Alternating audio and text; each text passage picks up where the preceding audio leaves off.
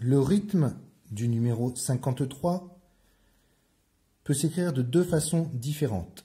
Soit double croche, croche pointée, c'est l'inverse de la croche pointée double. Une très courte, une longue. Pam pam, pam pam, rythme qui vaut un temps. Ou deux doubles croches et un demi-soupir. Pam pam, pam pam. À l'oreille, si on joue à l'instrument, ça se ressemble énormément. Sauf que la note du deux doubles demi-soupir, la deuxième, est plus courte que, bien sûr, double et croche pointée.